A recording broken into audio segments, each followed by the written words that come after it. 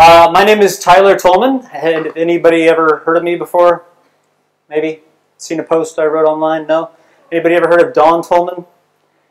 No idea? Um, one person? Yeah? Have you seen him speak in person? No. Just heard of him and his crazy mustache? Awesome. So I'm here obviously to talk a little bit about health. Um, do you guys think health is important to your business? Why? Don't have health, you don't have wealth, can't do anything. Absolutely. What would happen to your business if you were diagnosed with cancer tomorrow? Probably wouldn't work out too well, would it? Especially if you're an entrepreneur and you're someone whose your business is focused on you. You guys get what I'm saying? I'm going to be sharing some statistics of what's actually going on in the world. And it's some really eye opening stuff. So I'm going to start off just sharing some statistics, what's happening. And I really want to lay a groundwork for why people are getting sick, why disease exists. I'm not just some random guy who's throwing out some ideas and stuff. I have a very solid foundation of scientific work I'm going to be sharing with you guys, and a lot of ancient history and knowledge and things I want to bring to the forefront as well. So I want to actually show you where disease comes from, um, and then talk about those things. And once we're on the same page, then I want to talk about some basic principles of health because I believe that health is simple. What is health? It's simple. It's daily habits, and we all know it. We all know that if we have bad habits and we're doing those bad habits day after day after day after day after day after day, we're going to end up having symptoms, getting sick, feeling like crap, on medications, and all these other things, which we see people all around us doing. So, really, health comes down to just creating some healthy habits getting into those healthy habits, and then you start to see improvements, improvements, improvements, have more clarity, have more energy, people like being around you, you have new ideas for your business, things start flowing and happening, and then you start to pick up on more and you want more and you want more. So you're either kind of in a downward trend, and a lot of us kind of know subconsciously wherever we're at, we're all kind of in that downward trend or not feeling very good or having things happening. Or we feel great, we feel fantastic, we're in flow when it comes to our health, and we're constantly looking for more that we can do. So I'm also going to get into a little bit of fasting and the potential of what fasting can do, kind of the ancient history behind it, biblical history, other things, and then the new science that shows some pretty cool things about fasting. Does that sound all right? Yeah, sounds good. Fantastic. Did anybody have anything to say? Did you have something to say, or are you just chilling with the microphone? Backup singer, yeah? Awesome. So the name of my presentation is called Live Healthy, Be Happy. What is it? Live healthy, be happy. So to start, we're just going to turn to someone next to us and say, Live healthy. Go. Great job. Now turn to someone and say, Be happy. So live healthy and be happy. I just want people to simply live healthy, you know, lifestyle. And it comes down, like I said, simple principles. Eat fruits and vegetables, go for a walk, drink some water, get out in the sun. Don't buy all the hype that the sun's out to kill you. Simple things like this, and that's what I'm going to get into. And then be happy. Because a lot of people are so caught up in health, they got sticks up their asses and causing so much stress. You know what I mean? That they're better off probably just eating a cheeseburger and having a good time. So it's a mixture of both things. And I'm not here with an agenda. I'm not here to promote a raw food lifestyle, a vegan diet, a paleo diet, any specific form or religion or anything else. I'm simply here to offer some ideas that potentially you can grab onto one that resonates with you, and you can simply take a little step in your life. Wow, that's one thing I probably could do better, and you start to do that, and all of a sudden you start to feel better. When you start to feel better, you're like, oh, that guy had some other ideas. Maybe I'll look at that. Take another little step. Am I making sense? So it's not about how fast we go in any direction. It's just having kind of a, a direction to move towards. Um, as he said before, the name of my business is called Conscious Lifestyler. You know, a lot of people are like, what's consciousness, man? What does that even mean? And consciousness is simply awareness. We're all conscious right now. We're all aware. The more awareness that we have towards the things we're bringing into our environment as far as energies, people, foods, and these types of things, more awareness we have of those things, what they are and how they affect us, the more consciousness we're going to have. So I'm simply sharing a lot of awareness of what's going on in the world so you guys can be educated, go home, hopefully not poison yourselves, and live long, healthy, happy lives because I know you all have amazing ideas for business and things that you'll be sharing with the world, which will hopefully, bless my life. So, Conscious Lifestyler is simply about improving your own lifestyle a little bit at a time. So, getting started, this is my father. His name's Don Tolman. He's called the uh, cowboy of whole food medicine or the Indiana Jones of whole food medicine. If you look him up, he's got amazing YouTube videos. He's traveled the world. He spent about 17 years staying with long-lived cultures and tribes around the planet. The Tarahumara Indians, um, which are called the swift-footed ones. If you guys have heard of them. Um, he stayed in different places around the world and essentially with people that live to be over 100. They're called centurions. And there's three cultures that exist on the planet right now um, that are long-lived people. They pretty much are disease-free. They have perfect eyesight. They have nice, beautiful teeth. They have abundant energy and clarity into their hundreds. National Geographic's crews go and hang out with these people. And these 20, 30-year-old camera crew guys hiking down to the river every morning with them have a hard time keeping up with these 80 and 90-year-olds as they're walking up and down. They've been doing it their whole lives. They have a pretty pristine type of lifestyle. So these are the types of things I want to be sharing. One of them is called the Abkhazians of Russia, the Hunza people of Pakistan, which are a bright, brilliant, happy, go-lucky, awesome people. They're the ones they love studying the most. And then there's a place called Vilcabamba Valley in Central America, where these people live to be 120. Supposedly there's records for 150, but regardless of them living to 150, at 90 they're still looking and feeling good. They have their teeth. They don't have cancer, diabetes, heart disease, and the basic things that we deal with in a Western culture. So that's a little bit of my background. Um, I grew up with my mother. I grew up in a situation of what you call a standard American diet or SAD diet, eating hamburgers, hot dogs, drinking the crap chocolate milk and junk food I was getting for the first 16 years of my life. But when I was 13 years old, I went out to stay with my father for a couple of summers. And when I got there, it was beautiful. He had 200 acres. It was rolling hills on a farm. There were ponds, swimming pool. It was pretty much paradise. If you can imagine, you know, a kid growing up in a little gangster town, you know, poor city, growing up on welfare, to all of a sudden going out and having exposure to nature, and he was growing foods and doing these types of things. It was quite a shock. And about a month after being there, a bunch of people arrived with cancer, diabetes, heart disease, all types of women with massive leg stuff, weeping coming out of her body, and people that literally, looked like they were going to die. And as a 13-year-old, being like, "Oh my God, what are these people doing here? Get them, you know, the hospital's that way." I don't know what these people are doing here. My father explained to me that he was running a healing program. So he would actually take vegetables out of the garden and fruits out of the trees and buy what he didn't have access to growing himself, and he would make fresh squeezed juices. And he would put these people onto a juice fast and teach them what he called the words of life. And I would watch these people, pale looking, sickly looking, in a period of one week, like a spark igniting, their skin clearing up, looking completely different. In two weeks, massively different. By the time they went home, three to four weeks later, these people were not the same. And these were people, because my father in college was actually going to be a neurosurgeon, literally had what it took going through school with his grades, everything that he did, he was super onto it. He could have become a neurosurgeon, um, but he didn't like the politics of it and left the whole thing and went out on his own journey. But he knew a lot of the physicians, oncologists, and people in different prestigious places in the United States. And these people knew about my father, and so when they had cancer patients that were terminal, and after they had tried chemotherapy and different things that didn't work, and they were saying, well, you can pretty much go home and get your affairs in order and die, or you can go see this guy Don Tolman because he's apparently having some success with working with people through fasting and doing some other weird stuff. So yeah, 13 years old, I was exposed to that, and it was quite a, a transformation. And that happened for a couple years just during the summer and then I'd go back to eating my hamburgers and hot dogs and doing stupid stuff. And when I turned 16, I was pretty much suicidal. Um, I hated myself, I hated my life, and I hated the people, didn't hate the people I was around, but I hated the things that we were doing. Uh, I was doing really stupid things that I don't really need to talk about, what a lot of teenagers probably get into, and they don't feel loved and things of this nature. Uh, so I broke down, called my father crying on the phone and said, you know, I don't know what to do. I hate my life.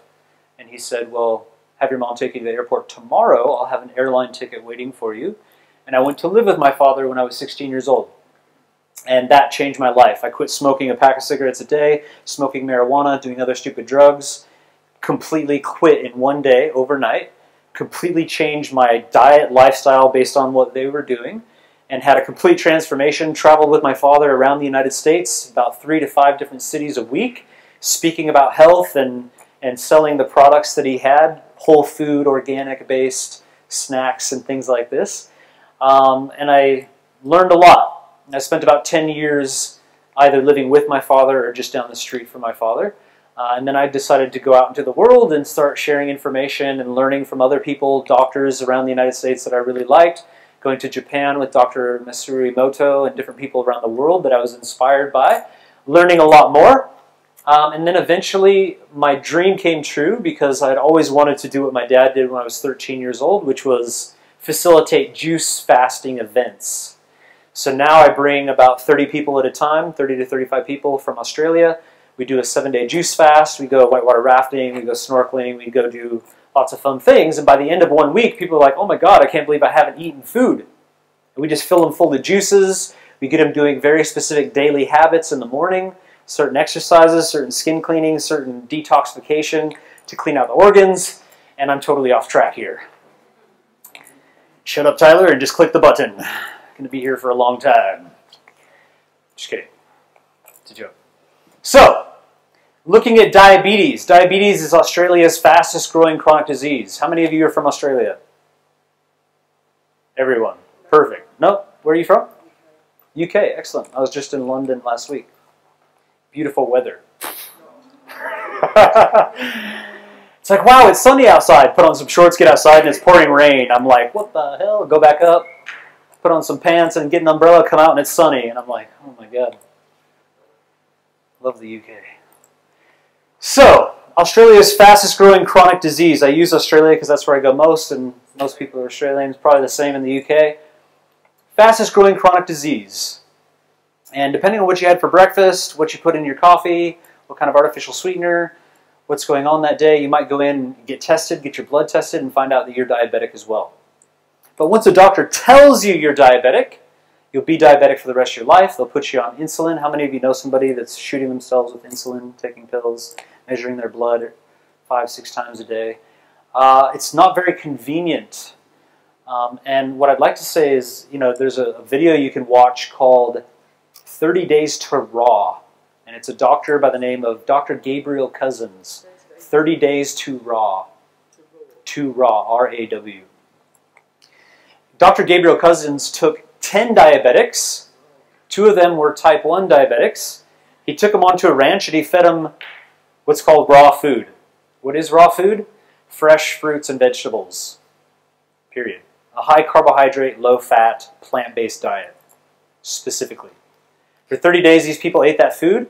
For the first five to 10, they hated their lives. They wanted to kill themselves. Everything sucked. They were being tortured. And then all of a sudden, they realized that their palate was changing. They kind of liked the food and they felt better and they had more energy. And you guys just go watch the video. It's a great documentary that was put together by Dr. Gabriel Cousens. And pretty much what he proves is in 30 days, anybody with type 2 diabetes can be healed completely. Don't even need it. Don't even need the medication. I bring people on a juice fast, and I've gotten type type 2 diabetics, completely off of insulin with the best blood sugar they've had in 10 years, drinking fruit juices. Exactly. Which in the Western perception is full of sugar. I can't eat fruit, I'm diabetic. But then they eat Snickers candy bars and shoot themselves with a shot. It's quite interesting. So look into that. There's other people doing it now, 30-day programs where they can literally reverse type 2 diabetes. Even type 1 diabetes, they're radically reducing the amount of insulin.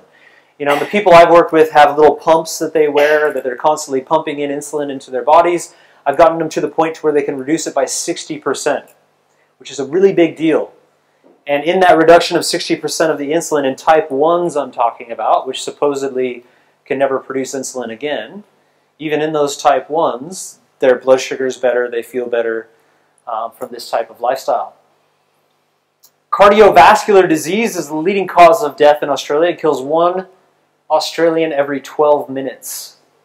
Affects 1 in 6 Australians or 3.7 million. Prevents 1.4 million people from living a full life because of disability caused by the disease. Affects 2 out of every 3 families. The thing about heart disease is you could look just like me. You could look fit, you could look young, you could look healthy, but what you don't realize is that there's an accumulation of plaque in your arteries. There's little atheromas forming, there's things going on from our dietary intake, and if one of those little things breaks loose, I could have a heart attack. Literally, right now.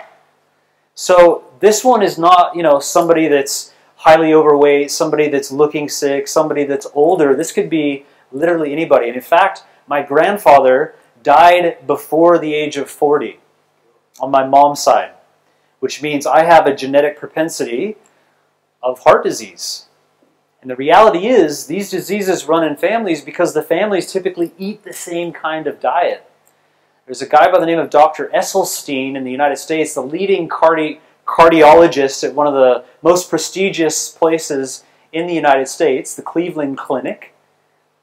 And he can take 20, 30, 50 heart disease patients that have had up to 20 cardiac events in the last few years. He'll put them onto a plant based whole food diet, and for the next 10 to 20 years, they will not have a single cardiac event. He's proven through showing people that you can absolutely reverse it. He actually shows people cardiograms, x rays, everything else of arteries by the heart that are blocked off and literally close to having a heart attack. And in two to three years, they're fully pumping and rocking again, simply by eating plant based whole food diet. Quite simple.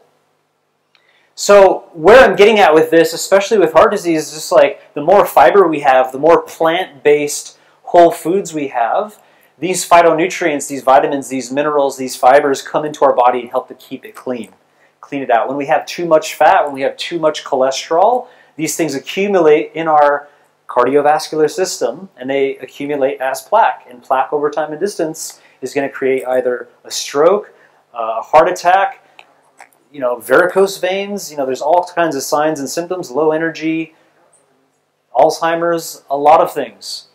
So it's really simplicity. You know, the only way we get excess cholesterol and fat is from eating basically an animal-based diet, which is a diet of the rich.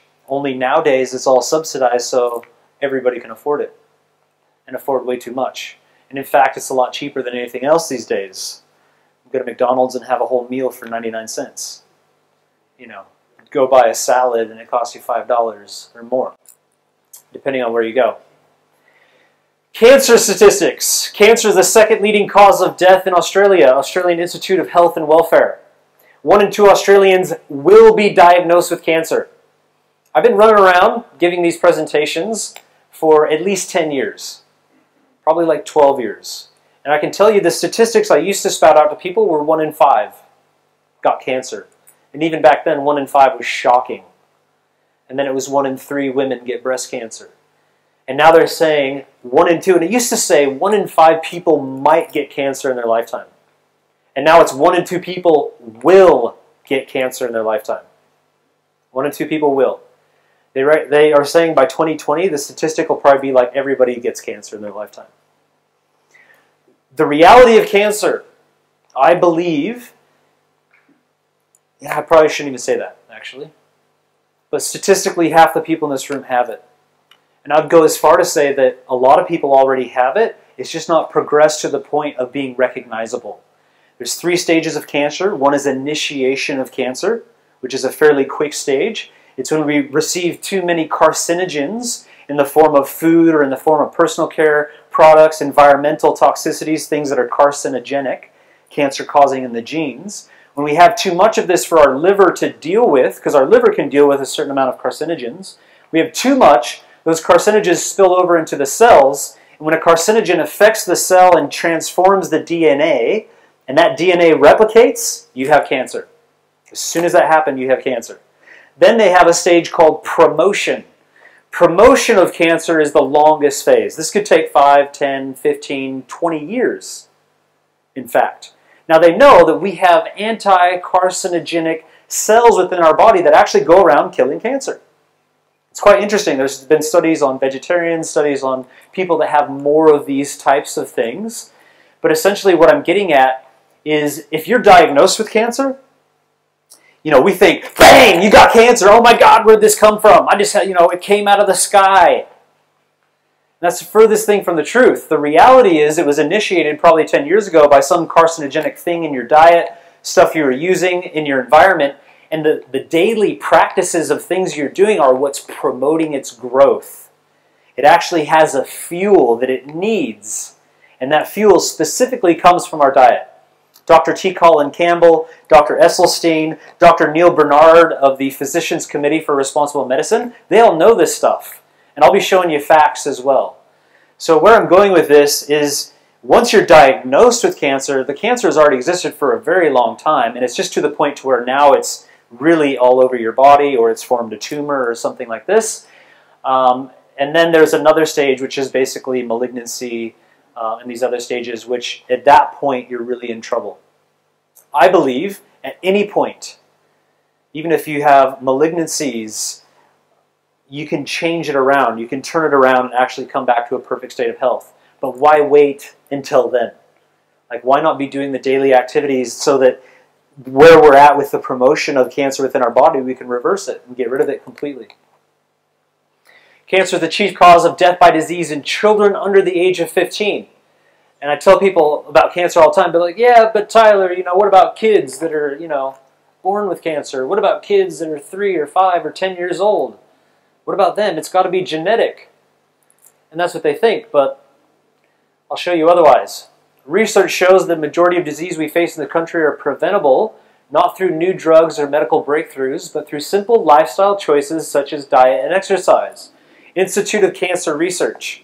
These guys are spending millions of dollars every single year, and what they have at the forefront of their website is basically saying simple lifestyle choices such as diet and exercise are the key to prevent cancer. And what I would say is the very things that prevent cancer are the very things that actually put cancer into remission. In fact, any disease that is out there, any disease, if you're diagnosed with a disease, you ask the doctor, what could I have done to prevent that? And you find out the principles of prevention. Well, if you exercise more, if you drink more water, if you ate more vegetables, or did these kinds of things, then you probably wouldn't have this disease. Well, those are the very things you need to start doing 100% to reverse it. Am I making sense? Following me?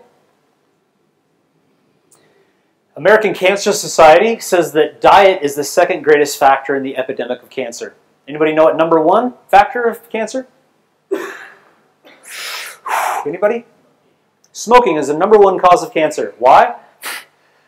Hundreds of carcinogens means you're initiating cancer all the time. But wait a second, Tyler. My grandma smoked till she was 100, and she never got cancer. Ah, oh, wow, interesting. Well, this means that maybe we can actually initiate cancer within our body with carcinogens, which, number one, according to the American Cancer Society, is smoking. But what if grandma was doing something not to create the promotion process? Is this making sense? Which is the biggest process of fueling cancer, which hopefully I'll talk about a little bit later. I want to talk about the things specifically that are known carcinogens and known things that are causing a lot of these problems, and it's in our everyday food. If you just simply go into your pantry, open it up, turn around your packages, start to look at the canned goods, start to look at the packaged goods, start to look at your drinks, start to look at everything, everything in a grocery store down the aisles has some of this. Nearly everything. Unless you happen to find a, a bag of just salt corn chips that's just like corn salt, and oil. Just about everything else has a lot of this stuff. Chemical preservatives, artificial sweeteners, hydrogenated oils, MSG, artificial colors, and genetically modified organisms. A little bit of information about some of these. Sodium benzoate and potassium benzoates are preservatives found in pickles, flour, margarine, fruit juices. You know, you're at the shop to buy a fruit juice because you're, you know, wanting to get healthier. You got this preservative in there. Beer, this is the thing, you know, beer's been around for thousands of years. In fact, I was just learning about ancient Egyptian culture, and they, they had beer thousands of years ago. In fact, I'd say as far as, and I won't go that far, but at least three to 5,000 years ago, they were drinking beer. Remember the live healthy, be happy? It's the be happy part. Have a glass of wine, have a beer, enjoy yourself, have a good time, socialize with other people. Our lives are about our social lives as well. But the fact that they're putting preservatives into beer and wine that are fairly harsh is quite shocking. Salad dressing, again, having a salad thinking you're doing better, soy sauce, toothpaste. Sheffield University cites lab tests suggest benzoates are known to cause leukemia, cirrhosis of the liver, and Parkinson's disease. So do you think you should be eating this and drinking this on a daily basis? Probably not. Sodium sulfites act as a common food preservative for dried fruit, canned olives, peppers, corn syrup, white vinegar, and wine. Noted side effects of sodium sulfites include headache, joint pain, heart palpitation, allergies, and accumulation leads to cancer. So again, glass of wine, nice and healthy, good for the blood, good for the red blood cells. One of the best anti-aging foods is grapes because of anthocyanins. But you add in sodium sulfites, toxic to the liver. I used to be able to have a glass of wine, feel great. Once I went through some fasting, cleaned my body out, I drink a conventional glass of wine, I feel fully dehydrated in the morning, got a headache, can't do it. And it's because of these preservatives, not because of the wine. Sodium nitrates used in curing meat, such as ham, bacon, sausage, and bologna. FDA says it also worsens asthma and decreases lung function.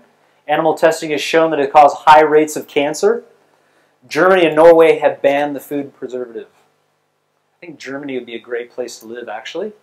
I think recently they made like the whole country solar power. They've got more solar power and they know what to do with. Um, and apparently they care about their people. Aspartame. Aspartame is anything low, low sugar, no sugar. Diet Coke, Coke Zero. All now it's in like cakes, dressings, cookies. Anything that you see that's low sugar or no sugar has aspartame. You take aspartame into a lab under this little thing called a Bunsen burner, and just before body temperature, it becomes formic acid, formaldehyde, and ethyl alcohol, which are three known carcinogens. So essentially, you're creating a plethora of symptoms, migraines, grand mal seizures, all types of other issues. There's a whole list of these things, which if all of a sudden you're having these weird symptoms, seeing shiny things, or getting ringing in your ears, or all kinds of weird stuff, you'll go to a doctor to get checked, and the doctor will most likely diagnose you with an actual disease, like epilepsy or some different form of thing that's actually caused from this, and then you'll get on some form of medication to hopefully suppress the symptoms that this is causing, but then you'll end up having probably symptoms from that. Anyways, I think you guys get the idea. Trans fats uh, never existed on, on the face of the earth until a few years ago when we decided to mix hydrogen with oils and create plastic. This is made out of plastic. Take crude oil out of the ground, you shoot hydrogen into it, and you make different forms of plastic. Well, food companies took food grade oil, like vegetable oil, they shoot hydrogen into it, it turns black, thick, it smells to high heaven, but they can deodorize that and do some stuff with it, and then you have plastic, food grade plastic. So now you can buy potato chips that are $2 cheaper than real potato chips. They look like real potato chips because of the pictures on it. But if you turn it over, it says hydrogenated palm kernel oil. And that's pretty much added plastic as a filler, so it costs a lot less. But when you add that as a filler, it doesn't taste as good. So what do you have to do? Add MSG because MSG is a natural flavor enhancer. It also does three things inside the body. Number one, it's the most highly addictive substance known to man. It affects the brain, it's highly addictive, MSG. Uh, number two, it causes your pancreas to overproduce insulin by five times the amount, which is a spell for disaster when it comes to diabetes. The MSG was developed specifically to cause diabetes in rats and mice. So what happened when a lot of people were eating a lot of sugar and a lot of fat and developing diabetes essentially. They went into a lab and said, let's cause diabetes in laboratory rats and mice and then figure out if we can find a cure. What they figured out is you can't actually cause diabetes in rats and mice because they don't overeat to the point of developing diabetes. So this is a major problem. So they identified a protein that they could break down and take out one of the essential amino acids called monosodium glutamate. When you concentrate monosodium glutamate, it affects the receptors in the brain, that was the third one, affects the receptors in the brain that tell you when you're full. So when you're eating and you have MSG at a high amount or a concentrated rate, you actually don't feel full. This is why a lot of people go out to Asian restaurants, and now it's pretty much in everything, but it started with Asian restaurants, and you could eat like noodles and you could eat stuff, and you just keep eating and eating and eating until you literally could not eat anymore. You physically could not stuff any more in, but you still felt pretty good. And then you go back because it's highly addictive. So the stuff was actually developed. They took this little protein amino acid and sprinkled it onto the food of mice and rats. They became addicted to the food. Their pancreas overproduced insulin. They didn't stop eating because they never got full. And this is what happened. You went from this kind of laboratory rat into a big fat thing solely from adding MSG. So after they figured this out, figured that they couldn't cure it unless they stopped feeding them MSG, what they did is they replicated insulin instead. So now people with diabetes, they could give them insulin, and that was the solution. But nobody ever talked about these laboratory studies, and now, if you go into just about any grocery store on the planet, at least in the Western world, you'll find MSG in everything. Here in, here in Indonesia, they love it. They've got literally bag, bags of crystal just MSG. They sell it at the store. People buy it and they put it all over their stuff. Yeah, this stuff's amazing. Tastes great. Makes you love the food. Awesome. It's quite shocking. Food additives that frequently contain MSG. There was a big hoo-ha about MSG quite a while ago, so they stopped labeling it MSG. But now it can fall under the guise of malt extract, malt flavoring, bouillon broth, natural flavors, and a bunch of other things. So if a package says natural flavors on it, it can potentially be MSG. Why? Because it comes from a protein and it's essentially a natural flavoring. I went into a grocery store. I've got photos of hundreds of products, but I used to buy these chips that said no added MSG on them. Very popular brand in Australia. I used to love these things. Why did I love them so much? Because I was highly addicted to them. And I, I would always question it like, yeah, it says natural flavors on the back, but it says no added MSG, so it's got to be all right. And I just justified that because I was addicted no added MSG. So I called the company in the grocery store one day, said, hey, you know, I'm one of your consumers in a grocery store, I'm looking at your product, I'm highly allergic to MSG, which is the truth, we're all allergic to it. Highly allergic to this stuff, and it says no added MSG, I need to know if there's any other forms of MSG that's in this product. And they said, please give us your phone number and your email, we'll either call you or email you within 24 hours. About two weeks later, I got an email that said, we would highly recommend you do not use our product if you're allergic to MSG. So you can come to your own conclusion about that. Food coloring. Blue dye in question is FD&C blue number one. It's made from coal tar. What's it made from? Coal tar, which makes it a dangerous substance due to the high content of toxic substances such as mercury, lead, and fluoride that are found in coal. New England Journal of Medicine. USA Today said that studies suggest that coal tar may cause leukemia, Hodgkin's lymphoma, and multiple myeloma. Coal tar is known to initiate cancer. And we see all these little kids running around with the cute little lollies. Come here, Billy, let me get a photo. And it's cute. You know, kids sucking on these suckers. They got a blue tongue. They love it. It's fun. I wouldn't doubt it. I wouldn't doubt it. You know, what's shocking is I was online, literally haven't cried in a really long time. It's not something I you know, talk about a lot, but I was online and I looked up this video and it said, new cure for cancer. I was like, oh wow, let's check this out. And I went on there and there's a bunch of doctors and the parents in this room with this little girl. This little girl had no hair. She's hooked up to an oxygen tube and she's sitting there like this. And they're all excited because they found the new cure for cancer, which is the AIDS virus. No shit. We can give this girl the AIDS virus or a form of the AIDS virus, and it will actually attack cancer in her body, and she'll be cured of cancer. And the whole time, she's sitting there sucking on one of these bright blue icy pops. Sitting there eating this bright blue icy pop. And I just, I don't know, I lost it. I went through a couple phases. I went through a phase of wanting to get an M16 and go into that hospital to start shooting people. And then I went through a phase of like just divine sadness that we're so freaking stupid that we don't get it. You know, doctors are really the smartest dumb people on the planet. Not all doctors, but most of them. Why? Because they're smart. They're smart and they go to school and they can get through all that stuff, but they're dumb. They're dumb in the sense that they don't realize that a simple carrot and an apple and drinking water and getting out in the sun and exercising could reverse a lot of the things that they're drugs that are poisoning people. You get what I'm saying? And look, there's a place for it. There's a place for pharmaceuticals. I'm not totally knocking it. You know, if I'm in a car accident and I got freaking my bones hanging out of my body and I'm nearly dying, I'm not going to ask you for a carrot. I'm going to ask you for some morphine. You know, and I'm a very dangerous person. Me and John Abbott go downhill mountain biking. We, me and Shane go out motorbiking all the time, and you come off these bikes. And thank God that there are painkillers and things that exist to deal with that type of stuff. But this is what I'm talking about. Simple things, simple daily habits. It's just because we don't know. It's not because parents, parents don't care. Parents love their children. And if a parent actually knew that they could cause cancer by simply giving them some candy, do you think they'd do it? Would you? Hope not. Genetically modified organisms. You guys know what this is? GMOs? American Academy of Environmental Medicine reported that several animal studies indicate serious health risks associated with GM food, including infertility, immune problems, accelerated aging, faulty insulin regulation, and changes in the major organs and gastrointestinal system. How many people think they eat genetically modified food?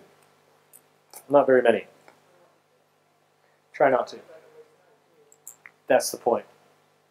The fact is, sad fact, is probably most of you are eating GMO every single day. Because if you shop at a grocery store, all the little additives can be genetically modified. And there's massive crops of genetically modified foods of corn, corn syrups, bases, flavorings, fillers, all kinds of stuff. And you know, I've read 120 pages of the labeling laws in Australia. And if it's genetically modified whole food, they have to label it. Which means if you walk into the fruits and veg aisle and you're looking at whole foods, it has to say genetically modified on it. So you know you're safe. Whereas if you walk down the aisle and you pick up something, you have no idea because a lot of those little fillers and numbers and things on the back could potentially be supporting Monsanto and have genetically modified foods in it. And this is why it's a problem. Since then, findings include thousands of sheep, buffalo, and goats in India died after grazing on GM cotton plants. Mice eating GM corn for the long term had fewer and smaller babies. More than half the babies of rats fed GM soy died within three weeks. Testicle cells of mice and rats on GM soy changed significantly. By the third generation, most GM soy fed hamsters lost the ability to have babies. So if you really look at the animal studies, it's showing within three generations, we might not have the ability to reproduce. Well, as far as I'm concerned, I have to do everything physically possible not to have kids. You get what I'm saying? Everything physically possible not to have kids. And I have more and more people, hundreds and even thousands of people now, sending me messages saying, you know, how do I have kids? What do I need to do? What type of cleanse? What do I do for fertility? What kinds of foods? IVF, all these treatments. And it's like, where is this coming from? Why is it that people are losing fertility? Well, GMOs have been around for quite a while now. You know, and for some people, three generations might only be 60 years. For others, it could be 100 years. But the potential for this, potentially, if GMO is in our food supply, which it is, and people are eating it, it's known to cause this, potentially we could eradicate the human race. We could actually get to a point of not being able to reproduce and not knowing why. Or get to a point of where we at least have to take sperm and eggs and do something to it and then create procreation through a process, and then we're living in the matrix. Yeah, they could probably supply a nice chemical that would reverse the process. You'd be shocked to know what Monsanto does. They have something called the Terminator gene. Anybody heard of Terminator gene? It was actually outlawed. It's still in the food, but it's considered inactive, according to Monsanto. They still put it in, but they say it's inactive. The Terminator gene is essentially, let's say Monsanto comes into, into Bali and they say, hey, we've got this amazing form of papayas and you can grow these papayas and they're juicy and they're succulent and they are resistant from weather and they're resistant from this and you'll have the best papayas. So they dupe everybody into buying these seeds. These people buy these seeds. It's got this little thing called the terminator gene in it. And what happens is by the second year of production of fruit, the terminator gene will actually kill the plant. Meaning you'd have to plant a new one, or you can buy the anti-terminator gene chemicals. No shit. And if you buy then this fertilizer, you can put it on the plant and it'll produce another year of fruit. And every year you have to buy the chemical to put on it so that the plant doesn't self-terminate. This is a reality. This is totally true. I'm not making this up. The problem with this is if you plant a Terminator gene GMO tree, it pollinates other trees. And then when it pollinates the other trees, they all contain the Terminator gene when they reproduce. So you could potentially, you could potentially eradicate an entire species of plants simply by planting one, if the Terminator gene is active. So for Monsanto, that would be great because then everybody would be reliant on them to buy chemicals to keep all their crops going. It's quite shocking. And this is why it's important to know that if you're uneducated and unaware of the foods you're buying, you're actually directly supplying finance to these companies that have who knows what agendas. So to give you an idea, um, you know, I travel a lot. I travel to Australia and do tours, and I flew into Melbourne one time, got off the plane, you know, feeling like I just got out of a microwave like you do sometimes. And I saw Boost Juice. Boost Juice is my favorite place. I go over there. I'm like, hey guys. They're all like, you know, bubbly and happy. You know, the Boost Juice guys. Hey, what can I make you? Yeah. I got some music playing. They're all stoked. I'm like, can I get, uh, let's see, some apple juice? Just put that into a blender, add some strawberries and some bananas, blend it. I'm good to go. Yeah, sure. Hey. So they give me this juice, and I got it, and I'm like, awesome. So I'm sitting there waiting, actually, for this smoothie, and there's this little girl crinkling this package over here. Mommy, mommy, buy me this. And mommy genuinely picks up the package to look at it to make sure it's safe. This is what she sees. Hi, I'm Barry, bite me. Isn't that cute? Says, made from real fruit, all natural colors and flavors, source of fiber with added calcium. A blend of fruit bites with all natural berry flavor, coconut, and yogurt. Seem all right? This seems all right, right? some coconut, some yogurt, some flavoring, whatever. So I went over and had a look, and this is the actual case of the scenario. And look, this is just one random thing. This is the case of most items everywhere you go. So just starting off, we have fruit. Yay! 32%. Hold on a second. It's concentrated apple puree, dried apples that contain preservative 223. So I've got this little app on my phone. You can take it out. It's called Chemical Maze. What's it called? Chemical Maze, M-A-I-Z-E. If you download Chemical Maze, um, there's a simple version that gives you most of it. If you want the whole version, it's like 5 or $6. But you download this, you can literally punch in any number and it'll bring up what it is and the tests that have been done on animals and if it's safe or not. Some of them they don't know, but most of them are identified. So if you look up this, it's a preservative basically known to cause cancer. Then it's got reconstituted mixed berry juices, 1.5%. I guess just so they can call it a berry bites. Wheat semolina, not quite sure what that is, but could potentially be genetically modified. Maltodextrin from wheat, could be, I don't know, genetically modified. Yogurt confectionery. Anybody ever bought yogurt confectionery before? I think of like confetti, like those little party poppers, but uh, I don't know what that is. Sugar, vegetable fat, hold on a second. There's your hydrogenated palm kernel oil, trans fat. Trans fat replaces good fat in the body. It's known to be carcinogenic because it interferes with the metabolic system of the body. Again, that's plastic filler. So the berry bites are actually just plastic filler with a bunch of crap. Uh, milk solids. I thought milk was liquid personally. Uh, yogurt powder, you know, as you do, get some yogurt powder, add some water, poof, there you go. Emulsifier, you guys know what emulsifier is? Me neither. But it's made from soy lecithin. Soy, probably most of the soy on the planet is genetically modified. Uh, unless it says organic or non-GMO, then you probably should avoid it. And look, 90% of the chocolate that most people are addicted to, soy lecithin. Hey, every bar of chocolate on the planet, soy lecithin. Uh, unless it says organic chocolate, or unless it's coming from Bali, there's certain ones that don't have soy lecithin that taste 10 times better than any other chocolate, then you need to be making it yourself. You see what happens here? La la la la la la la. This is the state of the world. La la la la la. La la la. Kids can't reproduce, but I don't care because I'm eating my chocolate and it tastes good. Just messing with you. But, you know, sugar, isomalt, wheat protein, coconut, hold on a second, contains preservative 220. So anytime you see something that looks halfway good, got to add some preservative to it. Seaweed extract, not sure why. Humectant, that's next to the emulsifier in the whole food section, you know, that bucket of humectant that tastes so nice. I'm just kidding, I have no idea what I'm talking about. It's got regulators in it. Regulators! 330, 296, look those up. Vegetable oil, natural flavor. This is where they sneak in the MSG, keep you addicted to it, keep you coming back. Natural colors, right. That natural 120 tree down the road, right? Natural 120. Fruit and vegetable extracts, got agents in there. It's Agent 553B to 904. I think they're on to us. Hide the gooseberry bites. Yeah, so this is all the crap that's in your kids' boost berry bites, and we wonder why why cancer is the leading cause of death in children under the age of 15. Did you get that? Did you hear that correctly? This is why. Then it has a specific warning on it. Contains sulfites in quantities greater than 10 milligrams per kg and should be noted by sensitive persons. Well, I'm a sensitive person. Maybe I should take a note. Shocking. Remember that 120 natural flavor? Here's what it actually is. This is the chemical Maze app.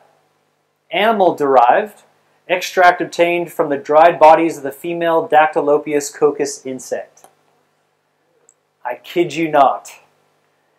I've seen a documentary of these people picking bugs off of cactuses and putting them into baskets, and then they smash them up, and they use that for the color red in all kinds of food products.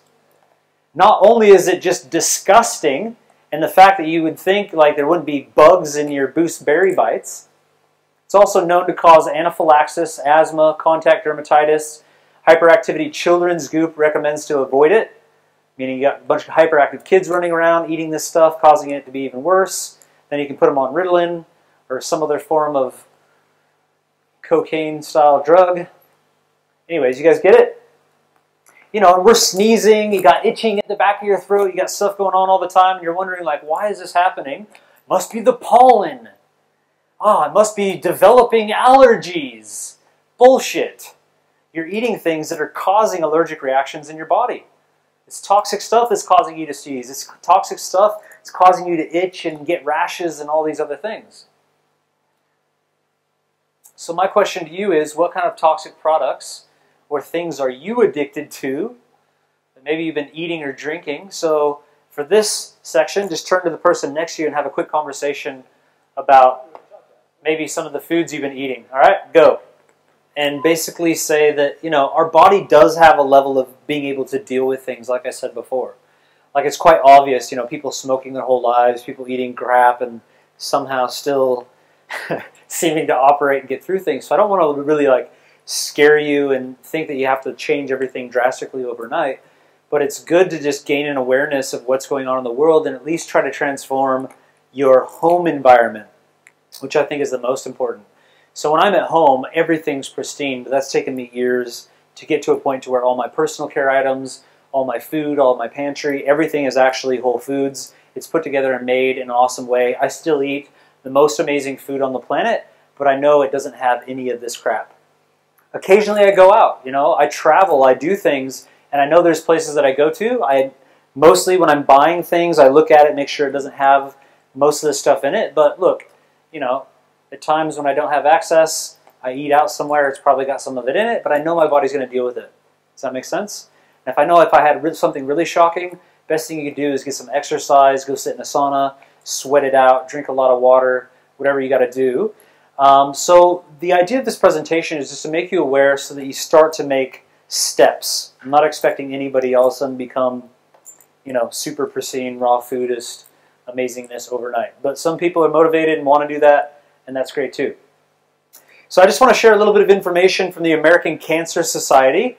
Uh, no single non-governmental, not-for-profit organization in the U.S. has invested more to find the causes and cures of cancer than the American Cancer Society. In fact, the American Cancer Society has helped make possible almost every major cancer research breakthrough since 1946. Every year they spend about 120 million to 150 million dollars. They've been doing this since 1946, which is billions of dollar in actual cancer research. Now you can see where a lot of the money is going. You know, millions in biology, cause and etiology, treatment, prevention, including nutrition, physical activity, tobacco control, early detection, diagnosis, prognosis, etc., etc. So what does the American Cancer Society say? Well, if you click on Learn About Cancer, you can see genetics here.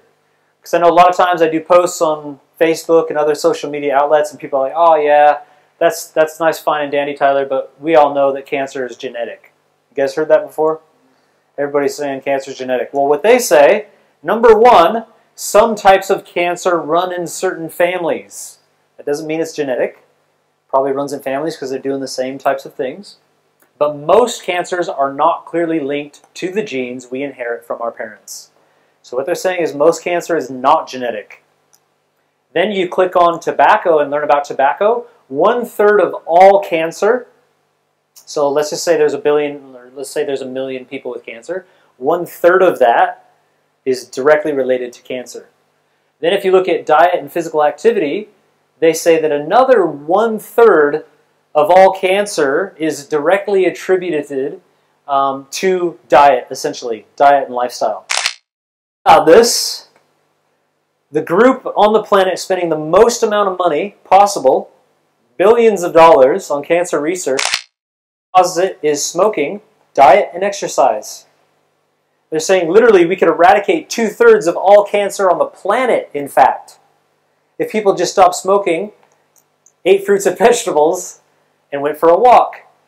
And their guidelines are mapped out. They basically say eat five to seven servings of fruits and vegetables per day.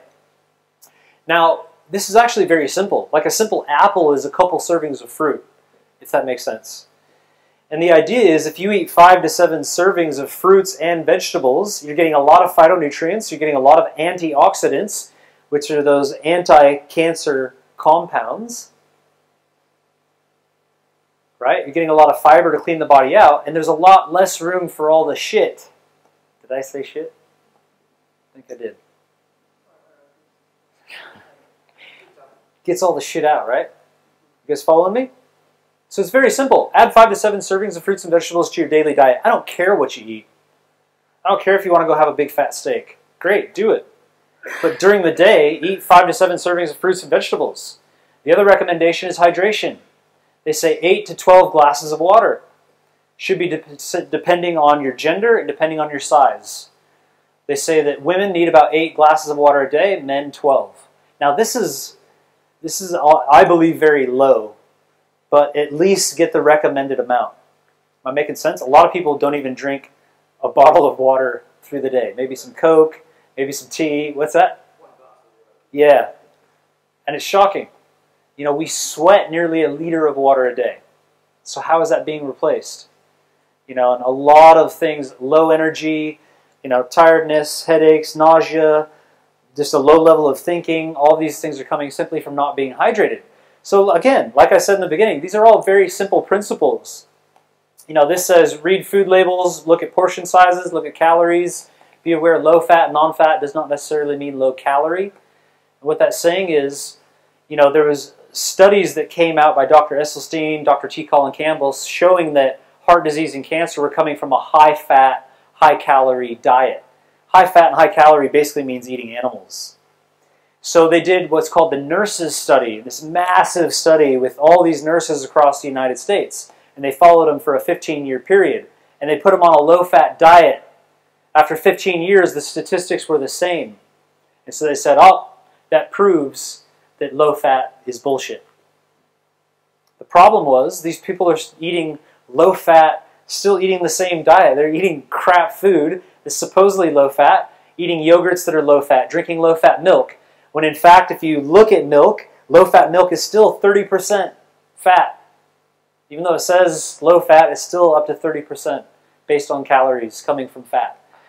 So, anyways, eat smaller portions, when eating high calorie food, what is high calorie food? It's animals.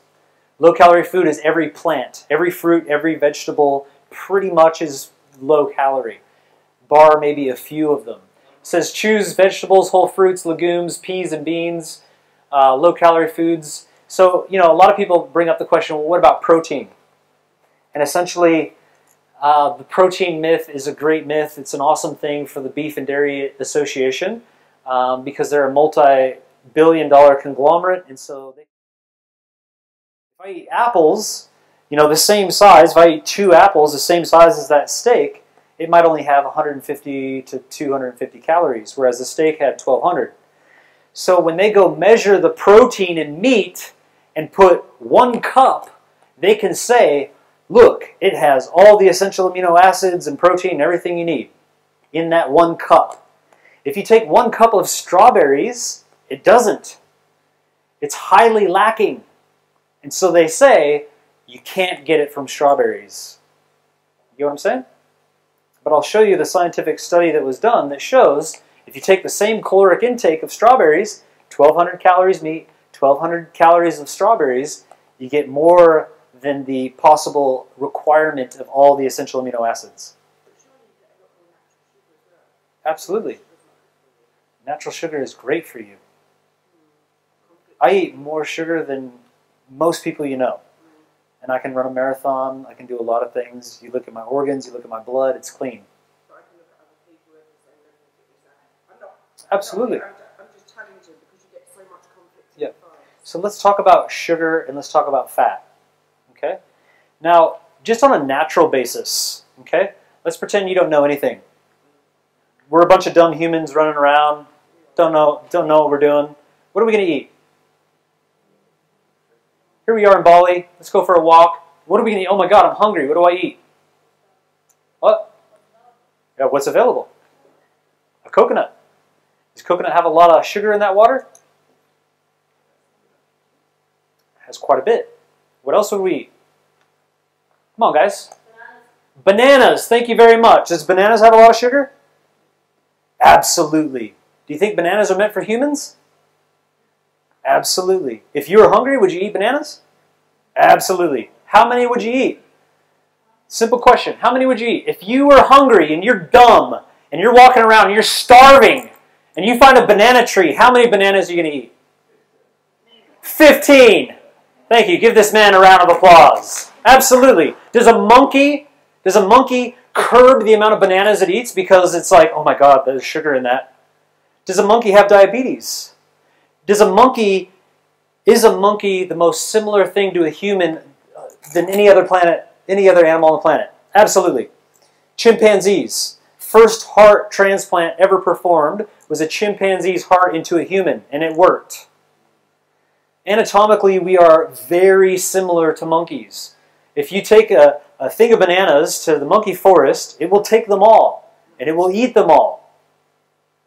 But we humans have this interesting thing where we've been programmed by media and by naturopaths and doctors that sugar is bad for you. I agree a thousand percent. If you grow sugar cane, burn it, harvest it, highly process it down to a white powder that is highly acidic, it's poison. So yes, sugar is bad for you. When it comes to fructose, in a, a plant, whether it be a papaya, a banana, a mango, or any of these other fruits, what is that sugar? Where did it come from? Any ideas? Fructose is literally crystallized sun energy. Our body is an electrical being. We're electrical beings. When we breathe in air, we're getting electricity. When I go out in the sun, I'm receiving electricity through solar panels. And when I eat foods, the more electrically charged those things are, the more energy I'm going to have. Now think about it. Is the dirt sweet? Yes or no? Probably not. I ate some when I was a kid. It wasn't very sweet. And I think if we went out there and ate and chewed on some, it wouldn't be very sweet. So there's no sugar in the soil. Now, is there sugar in water? Yes or no? Come on, play along, guys. Is there sugar in water? No, there's no sugar in water. So we have this little intelligent being called a seed that grows into a plant. How the hell did a mango become highly sweet? Well, it's got these leaves that it holds out, and it gathers sunlight. And that sunlight transforms through a process of photosynthesis, which is similar to our blood, and it changes it into things that we need. We live in a symbiosis with plants. When I breathe out, the plant breathes in. When the plant breathes out, I breathe in. You can take three large plants into a sealed container and literally breathe indefinitely. So there's a symbiosis. When I go pee pee on the plant, it feeds it. Then the plant grows and it delivers fruit and I eat it. We're living in conjunction with one another. Right? We only need plants, they only need us. Or some form of animals, some form of CO2. Am I making sense? So is it, am I right in saying it's not necessary to control the amount of fruit you eat? Absolutely not. You don't have to. No, you don't have to. Unless you eat a lot of fat.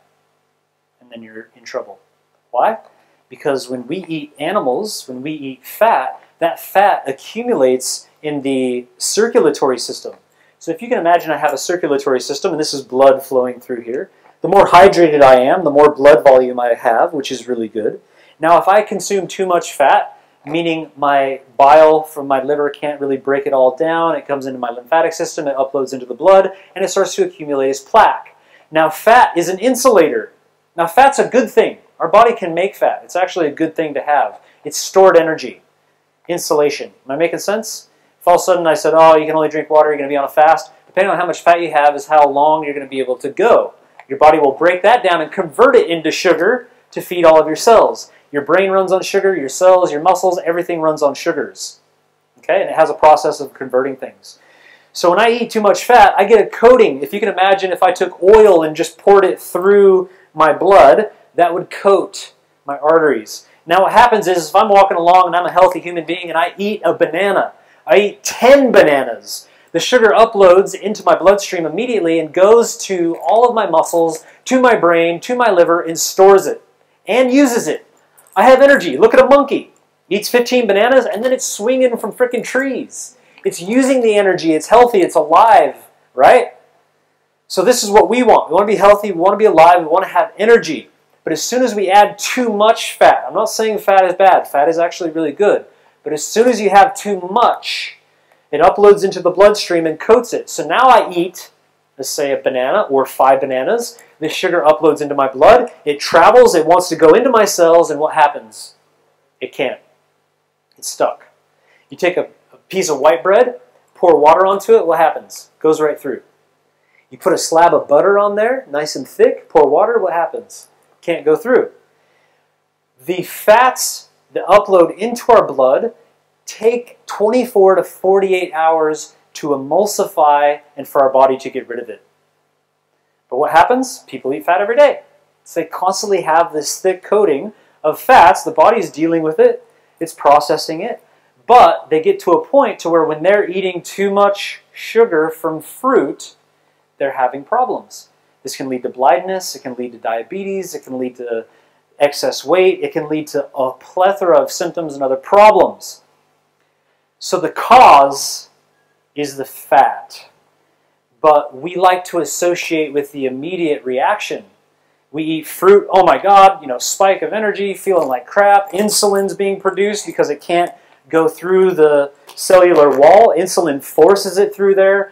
After insulin's been produced for too long, you develop diabetes. Then you have adrenal glands, which are overworked because the adrenal glands do the same thing. So you have adrenal fatigue, you have diabetic situations, hypo and hyperglycemic. You have all these things that are coming from this process of just the fact that we're eating too much fat in our diet.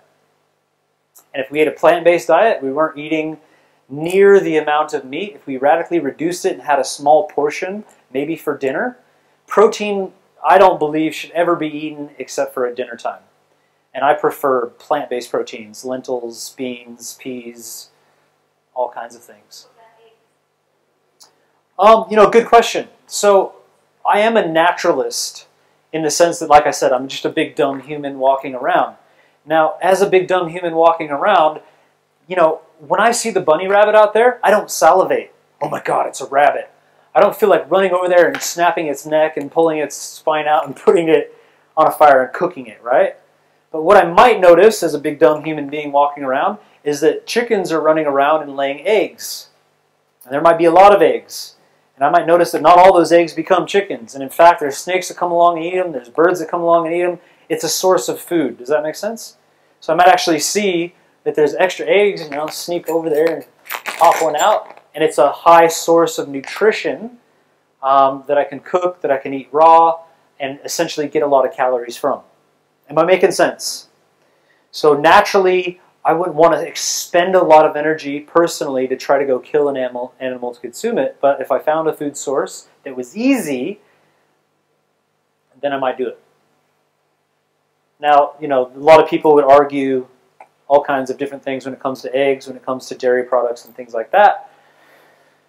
Comes down to you and, and what you're willing to do. Yeah.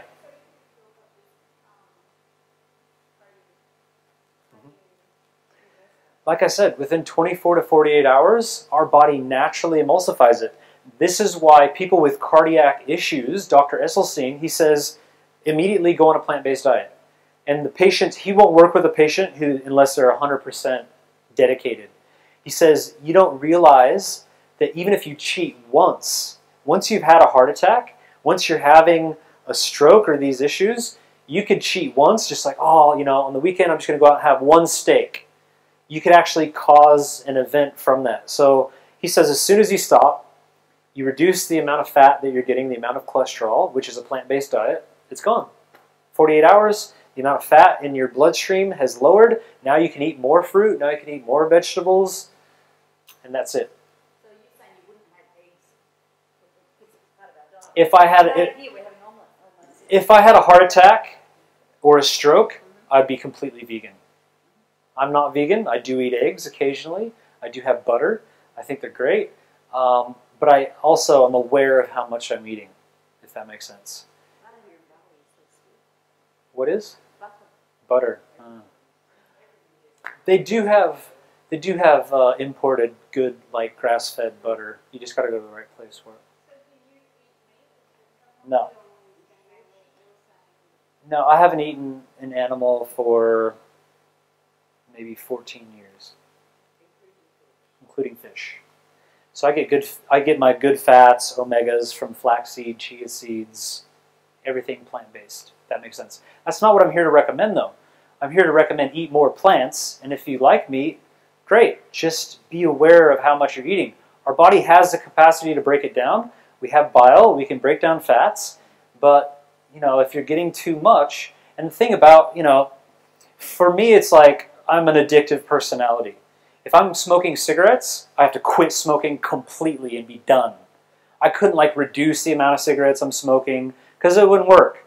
So for a meat eater, if I was just like, oh, okay, well, I'm just gonna have a little bit of chicken here, a little bit of fish over here, bullshit. I'd be eating it every night and saying, oh yeah, I just eat it occasionally.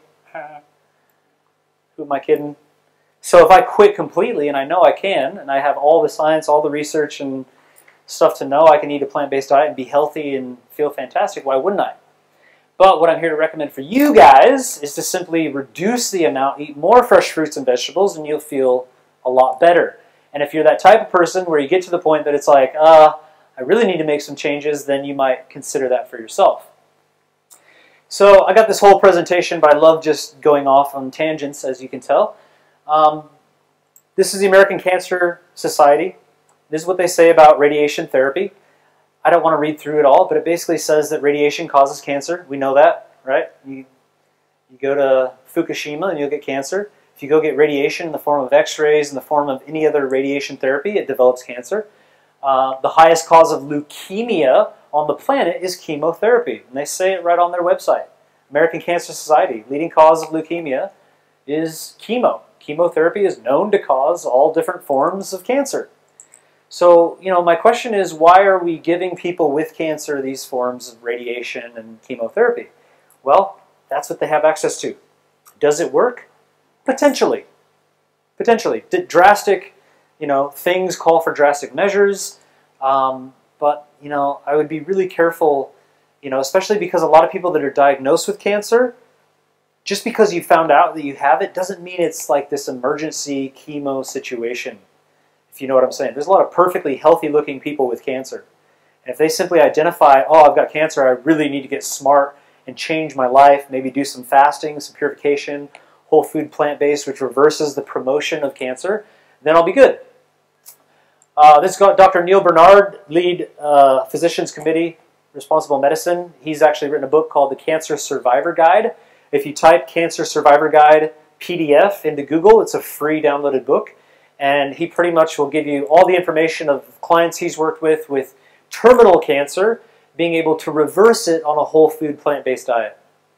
And these guys, you know, they're still medical doctors. They're still like, look, there's a place for chemo, there's a place for radiation, but this is what we're finding now that we're taking people off of that stuff and putting them on plant based whole foods.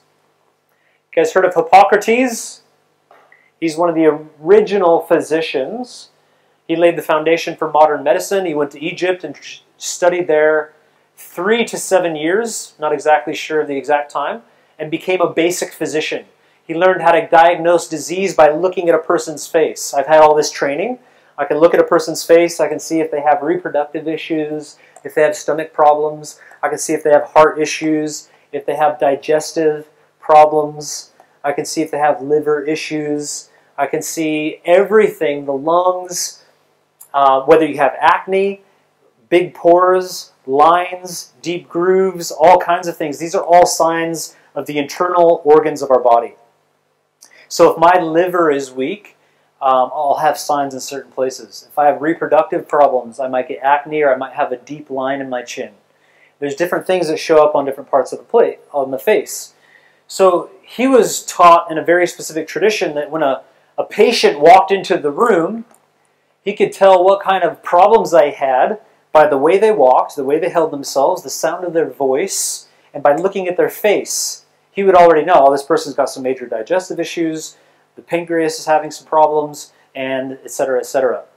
Then he would look into their eyes, he'd look at the whites of the eyes, be able to identify the main stresses of the body. This is called sclerology. So now there's a whole science around sclerology. There's documents from ancient China that have all the same records as what we have today based on a new science. Go all the way back to Egypt, same thing. So these people thousands of years ago had this stuff documented, and doctors and scientists just in the last 60, 70 years have rediscovered this and made a whole science out of iridology and sclerology. And you can identify stress, diagnose essentially disease, parasites, lymphatic situation, everything that's happening in your body simply by looking in, into your eyes and onto your face. So I do consultations. Essentially, I take a photo of your eyes, photo of your face, your tongue, your nails, and look at everything on your body and assess essentially if you're having issues, what those issues specifically are. And then there's essentially whole foods and you know specific things that can essentially clear those up. So that's a little bit about Hippocrates. Um, I'm going to quickly run through just because I know you know eventually you guys are going to want some food here. Uh, I just want to run through some basics. Is that all right with you guys? And this is the stuff that my dad learned when he was traveling around to these different societies and cultures. He realized there's some basic principles that if we observe these things, essentially we'll live happier and healthier. Number one is air. Essentially, we are air breathing beings. The lungs is the largest organ inside the body. So take a deep breath in, let it out. Deep breath in, play along. Let it out. One more time, deep breath in. Let it out. Anybody feel dizzy, like you're going to pass out? That's because toxins are now circulating.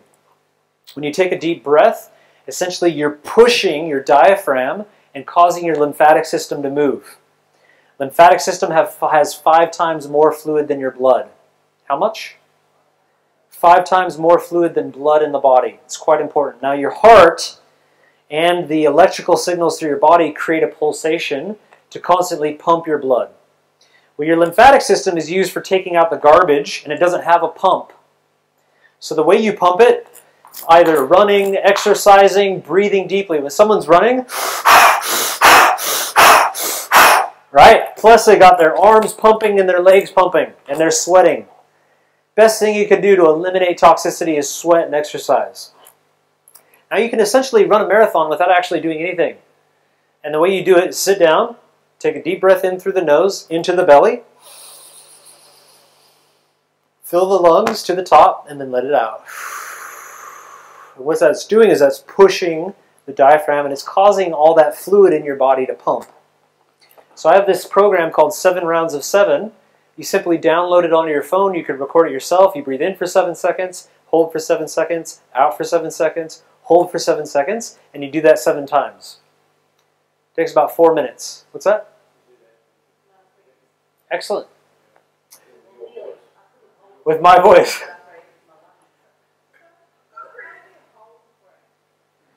Essentially, so let's say I breathe in, right? I'm breathing in oxygen, I'm breathing in all kinds of gases. When I hold it, each time my heart pumps, it's gathering that oxygen. Does that make sense? Okay, my lungs are this huge bag. Now pretend that huge bag is full of oxygen, okay? When my heart pumps, it takes a little bit.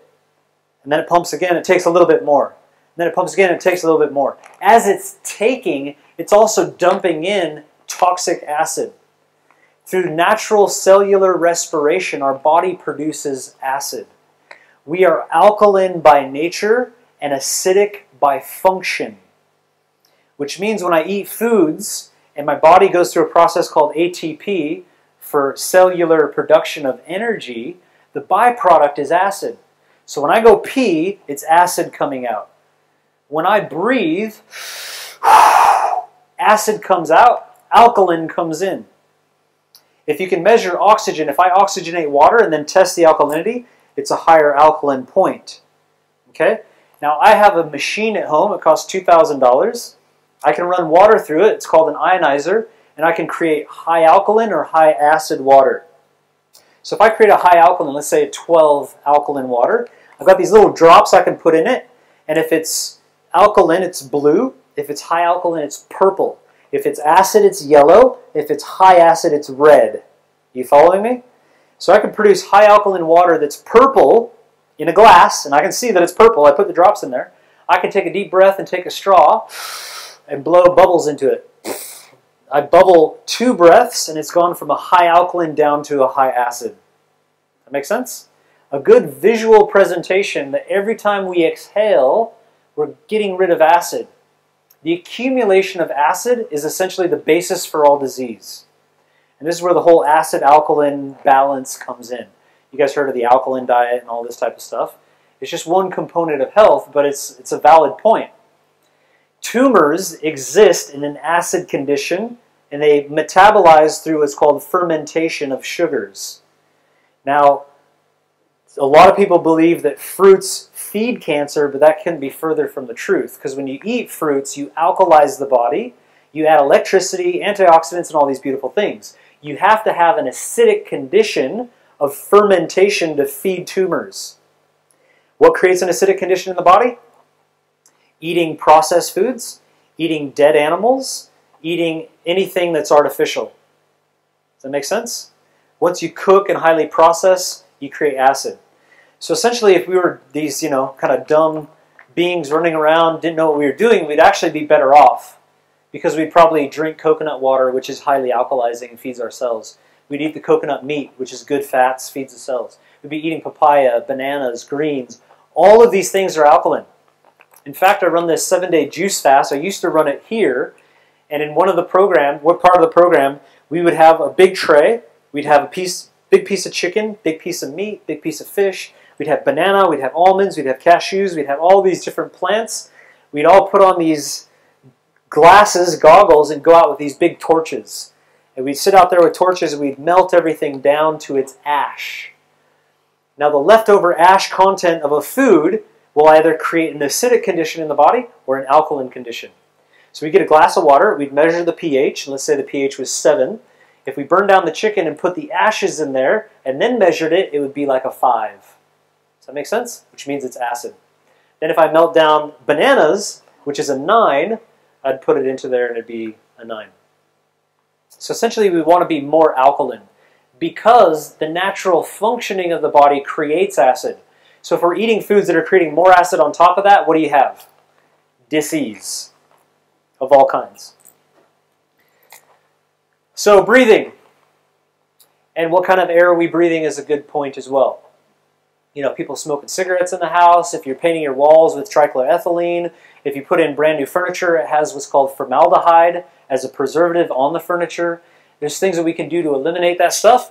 But essentially, the best house cleaners on the planet are these, which I'm stoked to see that you guys actually have plants in the room.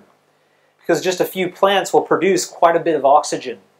So, what I recommend in my baby's room, in our room, everywhere in the house that actually closes up, nice thing about Bali is most of it's open, but I have these plants specifically.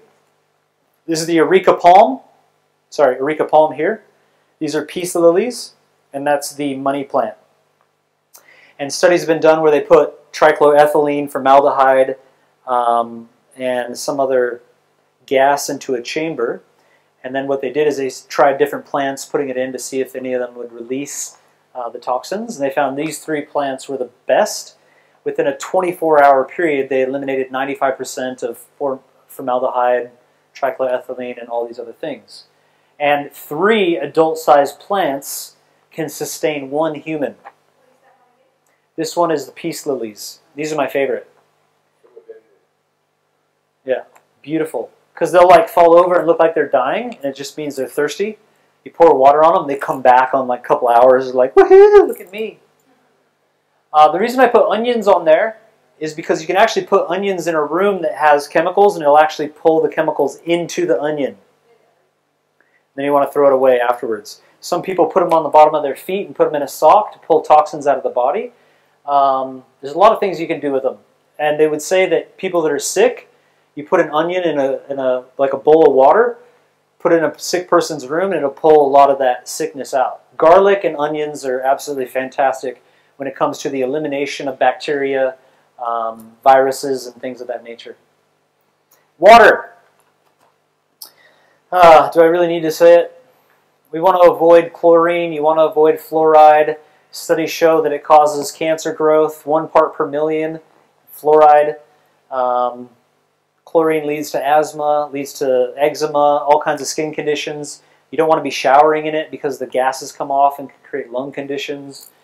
Um, ultimately, you want to avoid it as much as possible. Yes, I'm going to still swim in a pool that has chlorine in it, but I'm not going to drink it. This is Dr. Masaru Emoto I was talking about earlier. He's written a book called The Hidden Messages in Water and found that your actual intentions affect the water. So you can take distilled water, which looks like this, and simply by saying thank you, when you freeze it, it takes on this type of structure.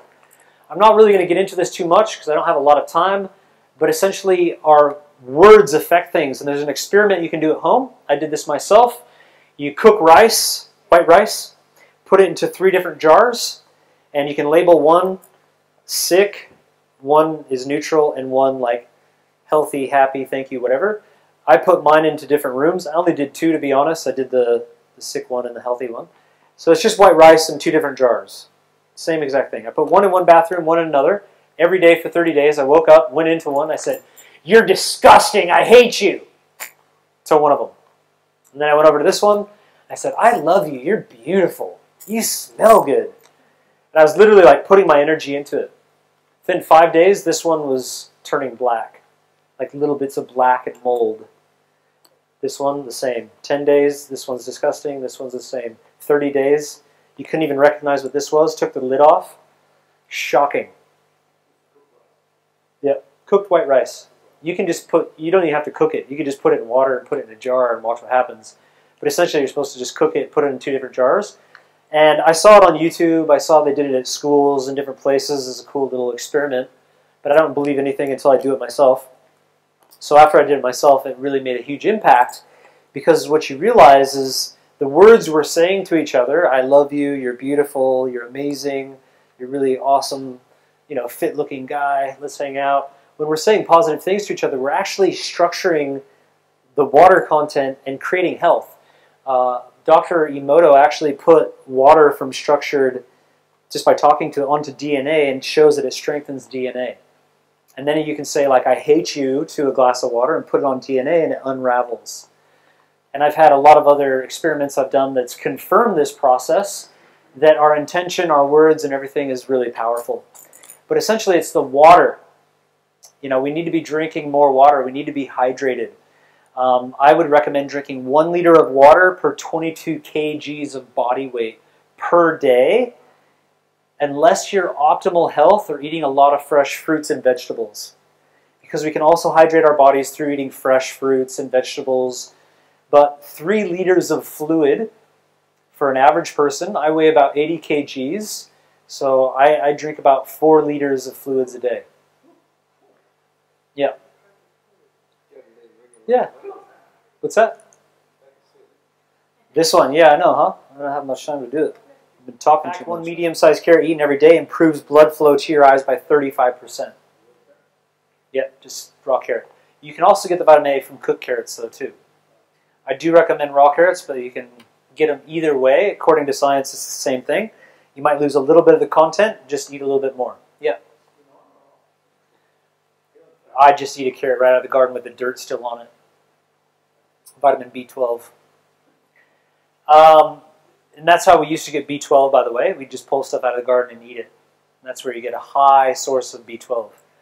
Um, so there you have it. I have clients, literally, that have taken off their glasses, eaten carrots, drinking carrot juice, and do eye exercises every day until their eyesight improves.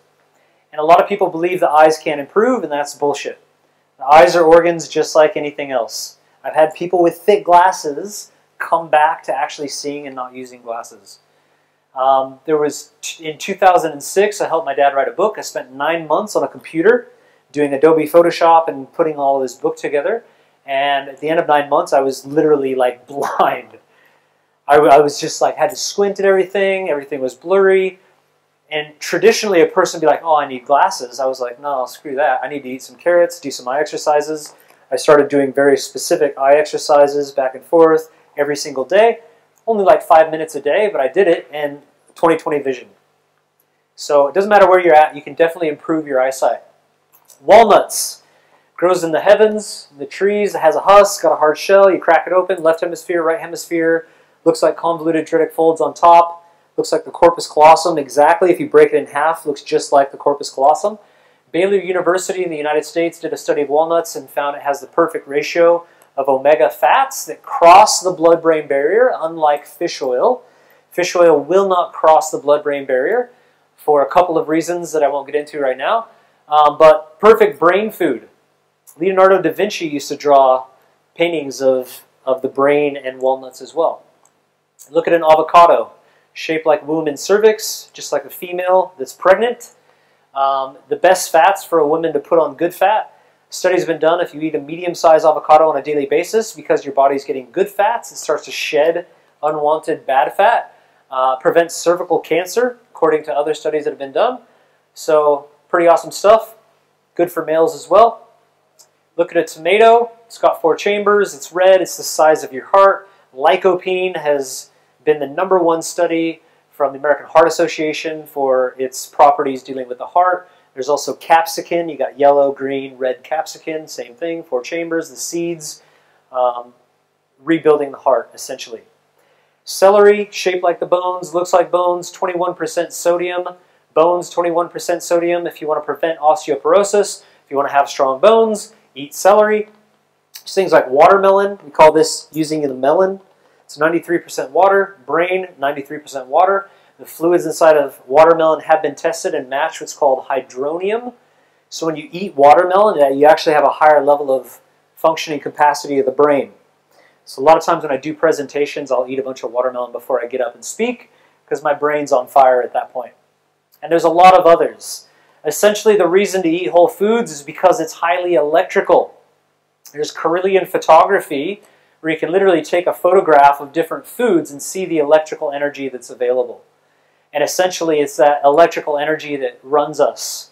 So if you want to have energy, if you want to have great ideas, if you want to build, in my opinion, a successful business, uh, a level of health is, is needed for that. And now I want to talk a little bit about fasting. Anybody in here ever done a fast? Awesome. Excellent. So a little bit of experience. The word fast comes from the Middle English word fasten, which means to hold, strengthen, observe, or to abstain from food. First records of human fasting for the remedy of disease go back to ancient civilizations of Greece and Egypt. Hippocrates prescribed fasting during critical periods of disease. All throughout human history, we've had to fast. If you look at animals in nature, they eat and they fast, and they eat and they fast. You know, an animal that's a carnivore may eat and then have this period of time where it doesn't find food and fast. Same with humans, same with a lot of other animals, uh, except for you know maybe cows that are put on a pasture and have food all the time. Uh, every mammal on the planet that's wild, if it gets injured or it gets sick, will naturally do a fast. And depending on how injured or how sick they are, they'll fast for an extended period of time. When you fast, everything heals faster. And the reason for that is when you eat food, it requires a lot of energy to digest that food. So when you free that energy from digestion, it can go into the process of healing and detoxification. Uh, I got this guy at the end because I think we lost track of fasting. Um, just a little bit of history Moses, Christ, Gandhi, Pythagoras. These guys were known to fast for extended periods of 40 days. Plato, Socrates, Aristotle, these guys were known to fast 10 days at a time. It says to gain mental and physical efficiency. You'll never know what that means until you actually do it. A 10 day water fast, um, which I would recommend doing juice fast first. I have a seven day online juice fast with recipes, information, exercises, breathing exercises, downloads, online community of over 3,000 people that have done it, and it's completely free. So there's no reason not to do it. It's tylertolman.com. Go under cleanses, online juice fast, you sign up for it. You get emails every day. It's got videos you watch each day, information, recipes, and a ton of stuff. I used to sell it for $500 just for people to go through it, and eventually we're like, let's just give it away. So highly recommend doing that. Juice fast first. And look, if you say, cool, I'm going to try a juice fast for seven days, and you make it half a day, congratulations. Because even if you just drink a bunch of juice for half a day, you're going to be, you know, doing some good things. If you make it two days and then you break, great. Congratulations, you did two days. And then each time you do it, you'll notice that the detoxification symptoms are a lot less. Some people, you jump on a juice fast right now, you feel great. You could go 7, 10, 20 days. Other people, day two, you're going to die. So, you know, eat some food, get back onto it, and try it again later. But eventually, you will all get to a point of being able to do seven days and feel really good just drinking fresh squeezed juices. Yada, yada, yada, Essenes, yada, yada, this guy, yada, yada. Um, current medical uh, scientific breakthroughs are now coming out um, about fasting. Specifically, there's a University of Wisconsin, University of Chicago, called Hull Biological Laboratories, where there's specific doctors now actually facilitating fasting and, and doing studies on cats and dogs, mice and rats, and humans. And these guys have put out a documentary, one of them on intermittent fasting called Eat, Fast, and Live Longer. Write it down. Eat, Fast, and Live Longer. Amazing documentary. And this guy's going around interviewing the doctors and scientists and finding out that fasting improves intelligence. They can literally hook you up to a uh, CEG machine and watch your brain light up every day of a fast, more neurons start firing. And they say, oh well, if you know if you're in nature and didn't have access to food, you'd have to become more intelligent to find food. That's their description for it. I have quite a different one. Um, but all you know throughout time in every major religion as well, fasting has always been a part of every religion for more of a connection. They call it a divine connection. But rejuvenescence, there is one quality of fasting which is genuinely awesome and even miraculous, and yet truly natural to life. This is the ability of living things, including humans, to regain youthfulness. This physiological scientific method is called rejuvenescence. So they've actually coined this phrase for all of the qualities that are coming from fasting. At the Department of Physiology at the University of Chicago, Dr. Carlson and Professor Kuhn fast, fasted a 40 year old male two weeks discovering his cellular physiology was that of a 17 year old. I had one of Gandhi on here at the age of 64, did a fast. On day 10, was examined by physicians and found to have the internal health of a 30 or 40 year old. Now, what's happening when you do a fast? Old age is characterized by a slowing down of the metabolic rate. So we all have a homeostatic metabolism. Like you can affect metabolism by exercising or by eating foods or doing things, but we all have a base rate metabolism. That base rate metabolism starts to decrease when we hit about 30 to 35 years of age. But it might only be like 1% every couple of years. But that 1% every couple of years, within 20, 30, 40 years, really starts to take a toll on your DNA, especially what's called the telomeres, which are these little ports that help us to regenerate at the end of our DNA strands. This decrease may be permanently increased by the process of fasting according to experiments conducted at the Hull Biological Laboratories at the University of Chicago. These experiments were conducted on both dogs and humans for extended periods of time. The results observed were that in fasts of 30 to 40 days, a 5 to 6% increase in the metabolic rate was observed. Now, it might not sound significant, but it's massive. Because if you can equate every two or three or four years to 1% of a drop in metabolic rate, by raising that 6%, you're potentially taking 15 to 20 years, reversing. Now, I've been working with people for the last five years, big retreats, seven days, and I also have a retreat called Heal Thyself, which is a 30 day fasting program. I've facilitated people through 40 day water fasts, which is full on and all kinds of juice fasts, 21 day water fasts, and I'll give you a little bit more info on some of those people coming up. Um, but essentially, what I'm getting at is because our faces are directly related to the internal environment of our organs, when we do a fast, I'm not going to describe the whole process, but through a breaking down of fat at a fast rate, our body releases what's called stem cells. You guys heard of stem cells before? So stem cell technology is a technology of taking embryonic stem cells out of embryos, injecting them into a human, which requires them to lower your immune system so you don't fight it. And if your body takes the stem cells, it will literally replace damaged and dead tissue inside the body. Which means if your heart is damaged, like you've had a heart attack, or it's actually damaged, your, your body can regenerate because those stem cells can be used for anything. Is that making sense?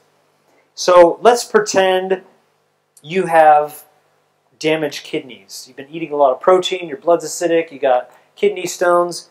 The eyes show the state of the kidneys. So if somebody's got dark bags under their eyes, they've got these deep lines under their eyes, if they got puffy eyes, they've got different types of eyes going on, it's the direct relation of your kidneys. Well, if I give you stem cell technology and it heals your kidneys, your eyes will literally clear up.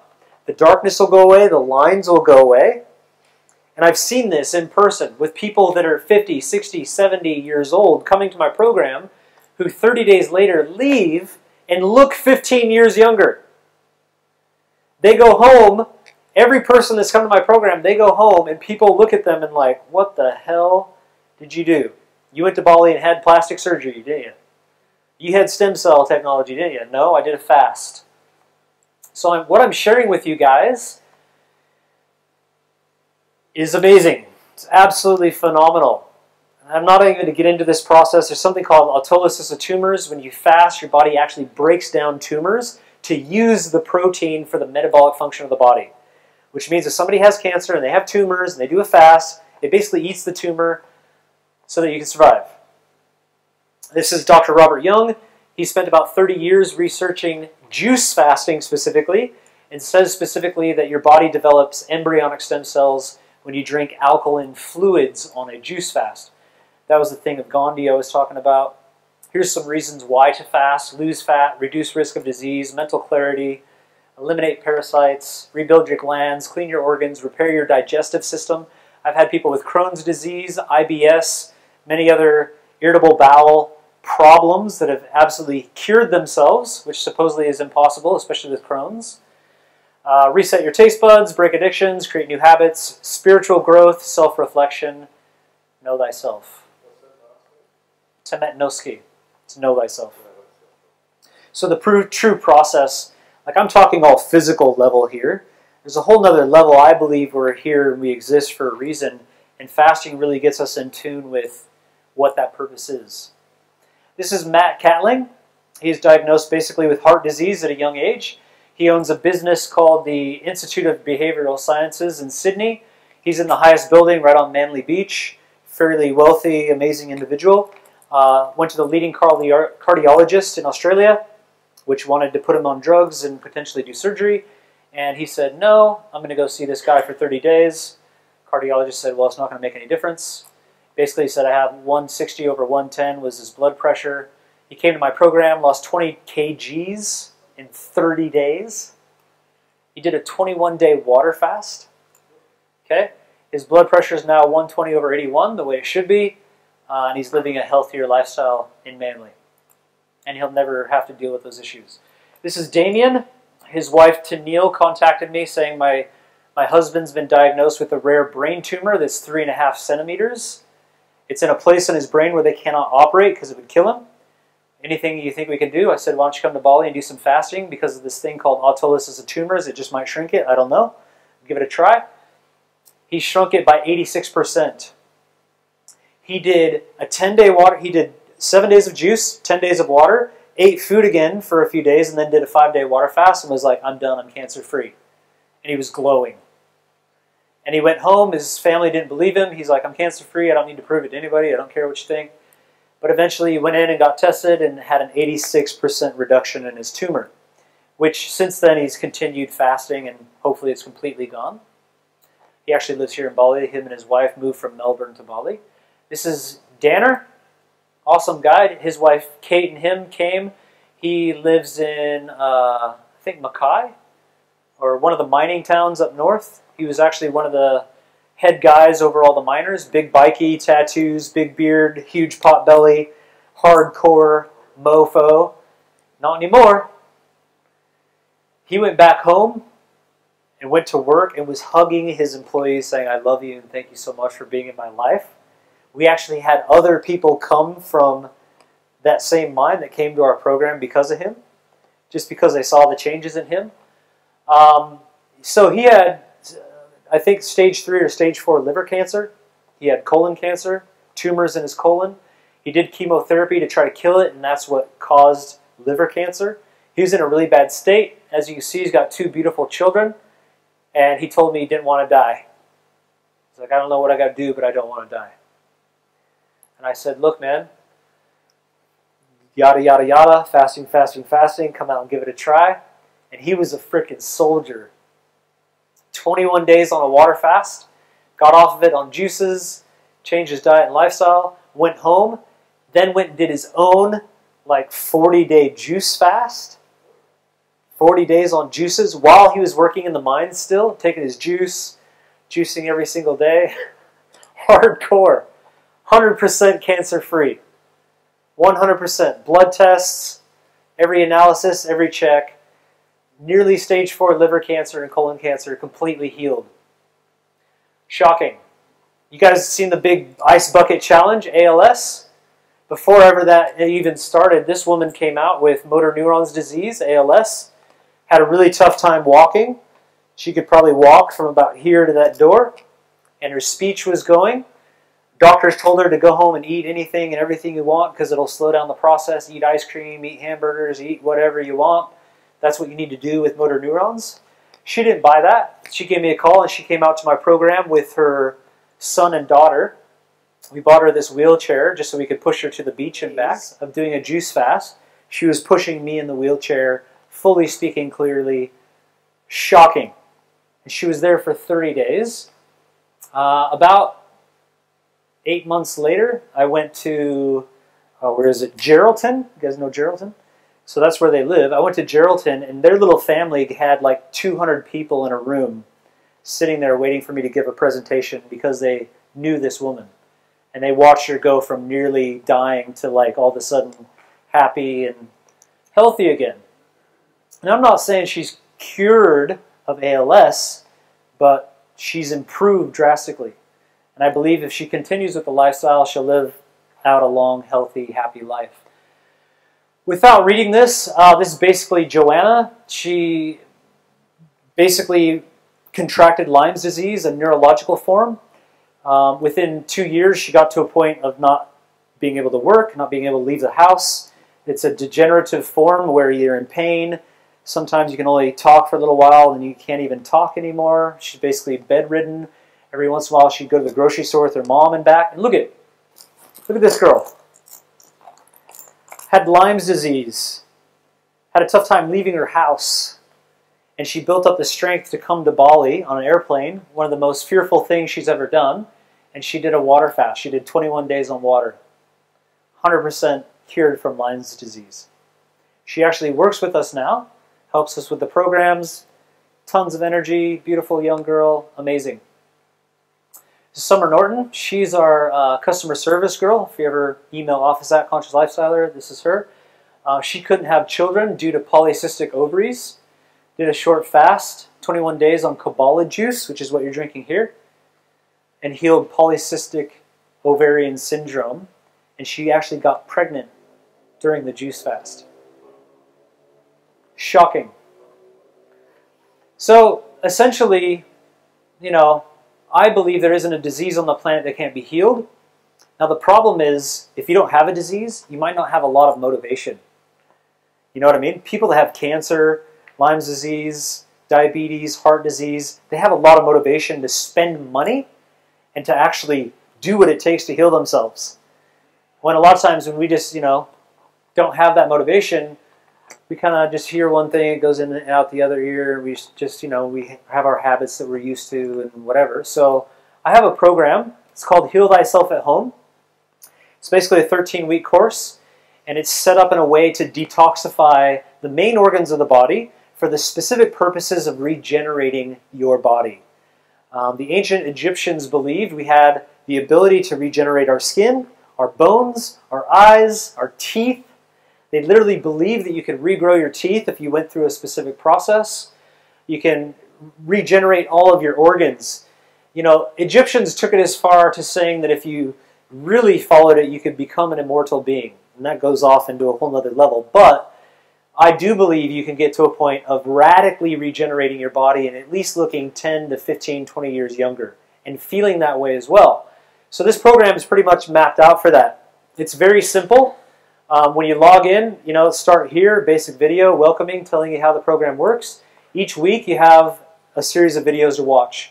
It might be about an hour's worth of content per week. So you can still do this while you're doing other things, and it's education um, as you go, but it's also a specific plan. So the first week we got some recipes, we get you eating some whole foods, making some basic changes. Uh, by the time you get to week three, you've had some basic education in different areas. Um, there's content sheets with facts and links uh, to the stuff I've been talking about. Uh, and there's a whole calendar of what you're doing. By week three, essentially you're doing a colon cleanse. Uh, you're pretty much eating the stuff that tastes like porridge for four days. Um, you're also doing a couple of other techniques to really clean out your digestive system. Because once you clean out the shit, you get rid of the plaque, your body can then uptake good nutrients from the whole foods that you're eating or the juices. So we do that first, then we work on cleaning the liver. So we go, we go uh, colon, small intestine, liver, and then lymphatic system. And we regenerate all those, the rest of your body essentially falls into place. By week four, you do a seven-day juice fast with all the content, recipes, everything you need. Um, after the juice fast, you have a whole meal plan mapped out by Chef Cynthia, one of the most amazing chefs on the planet, um, for 30 days. And so you follow a 30-day meal plan. Um, and again, during this time, you're getting a lot of education. Uh, a lot of people that have done this program said in the first three weeks they got their money's worth and they absolutely loved it. Uh, a few people that have been on the program that have gotten off of medications, lost a bunch of weight, feel great. Just don't feel like reading at all. This is Scott and Fatini. Do you guys know them? They actually live here in Bali and Ubud. They actually used to live here at Vision Villas. You see the photos a little bit different. And they said for their relationship, especially, really improved. Um, Scott, I sat down with him at a restaurant, and he's just like, "Look, man, I don't know how I'm going to stop eating steak." Had his gut hanging out, and he's sitting there at the restaurant, like, "I don't know how I'm going to do this, but I just need to do this, so I'm willing to give it a shot." Now, remember when I said it was only seven days of a juice fast? He felt so good after seven days. What did he say? I might have taken that. He, was, he had this big email. I edited it, but I think he ended up going like 40 days on juices, and felt amazing. He was pre-diabetic. He weighed 100 kgs. Went through the program. lost 15 kgs during the program, got rid of gout, um, exercises daily. Essentially says this, you know, lifestyle is actually a lot easier than he thought because before he didn't really like eating fruits and vegetables, but then he realized if you cook them correctly and put them together right, they taste great. Simon Bennett had Crohn's disease. Essentially went through the program, cured his Crohn's disease, which is supposedly impossible. Some other people that have been through the 13 weeks and been through other programs. Thomas Thong had, uh, is it psoriasis, eczema, for a big part of his life. Was able to heal that for the first time in his life. Oh man, Kazi Pistis. A lot of people think that you're going to lose weight when fasting and, and getting on whole foods. She actually put on weight after the fast because it resets your hormones, your HGH levels, testosterone, other things are reset. Um, so you actually end up building more muscle. Um, and essentially, that's a little bit about the program. Uh, the Heal Thyself at Home program is $1,500. It's 13 weeks. Um, any questions you have, it's fully supported. So if you have issues, you can email me. You can have conversations that way. And yeah, essentially, it's a it's a program to give you education, to give you motivation, to transform your life.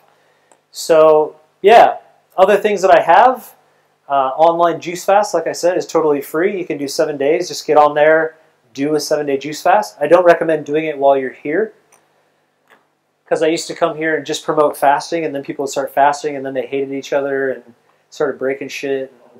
They're like puking and crapping everywhere. They're like, Tyler, you got to stop talking about fasting at the program. But maybe when you get home. So, do you guys have any questions? Have you costed out that fifteen hundred dollar thirteen week thing? Have you got costing on what it costs an individual that's about to embark on that program to do what you're recommending in the hmm. program in terms of food? It's a really good question. We haven't really costed that out. We've actually talked about that because our chef specifically designed all the meals and we all ate the meals. So we have like the actual, it comes with the ingredients and grocery list and all that type of stuff. But she also, Chef Cynthia, shares a lot of information like where to go because she lives on the Gold Coast or did live on the Gold Coast. So she says it's actually cheaper if you go to farmers markets in some of these places and buy bulk, you know, the greens and the different things. Um, but yeah, it'd be a really good question. I'm not really sure. I know that juice fasting can be a bit expensive because obviously, you know, to put a bunch of carrots and apples and beets and lemons through a juicer, but then you got to understand that you don't have any food cost, right? And it depends on how much juice you're going to drink. You might have two liters a day. You might have three liters a day. Um, so for that portion, yeah, it's it's a really good question. But essentially, you know, in my opinion, health is the most important thing on the planet. And if you want to have a healthy business, if you want to have a healthy life, it's going to transform everything. Um, I know personally, after I do fasts, my business goes like this. Um, I my business is solely based on Facebook. Um, future business principles are givers get. So the more I give, the more I will receive. Uh, sharing is having more. So it's you know the old model of doing business is like, hey, I know all this stuff, come pay me and get some of it. New business model is you know Facebook is the largest social media platform on the planet. All I got to do is do a post on bananas, do a post on walnuts, do a post about cancer, do a post about diabetes, you know, talk about ancient Egyptian civilizations and health, and you know, I do all kinds of posts. So I just put that out there, um, and I get a certain amount of likes and shares from people. And as they start to read my articles and really feel in tune with the stuff that I'm sharing, you know, there's a relationship that's bonded. They ask me questions. I always answer questions for free online. So I build these relationships, and when people get sick, what do they do? They spend $16,000 and come to my 30 day program. I sell out all of my 30 day programs simply from Facebook, which is shocking. It's, the best, it's the best marketing on the planet, but there's a way of doing it. There's a way of connecting with people and constantly giving and caring and answering all their questions and really talking and showing, you know, whatever product you have, constantly posting pictures and sharing and interacting with other people and sending out that positive energy. So, well, the reason I mention that is because when I did my last fast, I went out and did a coconut water fast on Ceningan, just across from Nusa Lembongan. Just sat there and drink coconut water. I didn't just sit there. I was swimming, I was hiking, I was doing all this stuff. But I went an extended period of just drinking coconuts, 10 a day. 10 coconuts a day. And they're nearly a liter apiece. There's a lot of fluid. And they would just climb the things. I, I think I paid, I don't know, maybe a, a dollar a piece per coconut. So maybe 10 bucks a day is what it cost me. But when I came back, my brain was so on fire. My whole body had so much energy. I was just downloading. So I would write articles in that space. So whether you can afford $1,500 plus whatever it costs to eat healthy food and drink juices and whatever is besides the point right now. At some point, you know, it all comes down to what's our highest values. You know, if health was our highest value, we'd just do it. But if health is like number five, then we, you know, would rather spend some money on different things. But yeah, what it comes down to is when you can do it, you know, I'd highly recommend getting onto it. And like I said, it's free to do the juice fast. It'd probably cost you a few hundred dollars to buy all the materials, but you'd probably save, you know, you skip going out to dinner two nights in a row in Australia and you've saved a couple hundred bucks. So, yeah. Anyways, thank you guys very much.